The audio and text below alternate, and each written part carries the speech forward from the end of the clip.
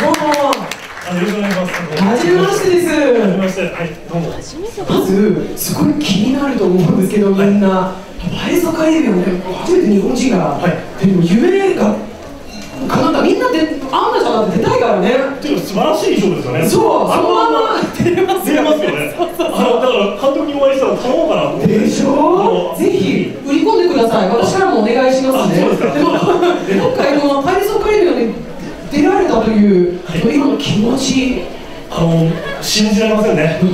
でもこの前あの初めてワールドプレミアで実際に見てみたんですけど出てましたね。確実に出てた 出てました。カットされてなかったそうなんです。まあ、ハリウッドの映画ではたまにありますねあよくありますね僕には。すみません今まで結構カットされた二つほど。はい。今回は出てました。よかったですねそうですね本当。ちょうどあのあ難しいかと思いますけど役役どころといいますか、はいちょっと説明していただけますかえっと、今回僕が演じたのは海賊ガーヘッドというキャラです。で、あのジャック・スパロー船長とともに命の譲りを目指す海賊のメンバーの一人なんですけども、はい。オーディションという形だったんですかねいや、実は今回はオーディションを受けてないんです。えどうやって選ばれたんですか？いや、あのある日電話がかかってたんです。はいパイロットの会議に出ませんか。いやいや夢のような電話ですそうですね。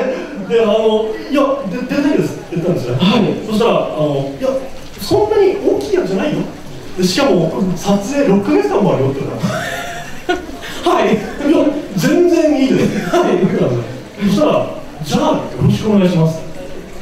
それだけですええー。で6ヶ月間はいセットにいて、はい、ジョニー・デップさんと。はいうわーちょっとあのみんなさだってもう今みんな出てきてあのこのねまあパレスオカリビアで何が好きですかジョニー・デップが好きってほとんどみんなおっしゃってましたよね、は一緒に仕事してるわけですよねどんな人？いや、なんていうか、あのままっていうか、何にもその、聞かざったところがないっていう感じですね。本当にナイスな方で、誰に対してもその、なんていうか、俳優一人一人のところに行って、手を握って目を見て、おはようって言うんです。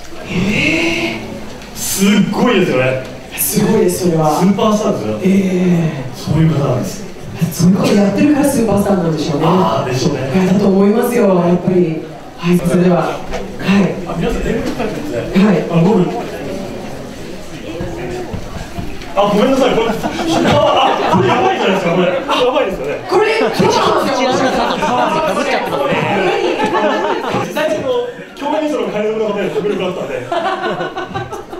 自分から何を書いたか教えてあ、Thank you for will rise again。ありがとう、世界。私たちはまた。立ち直りますって感じですか？うん、はいいいメッセージですね。ありがとうございます。はいありがとうございます。頑張ってくださいね。ありがとうございました。ありがとうございました。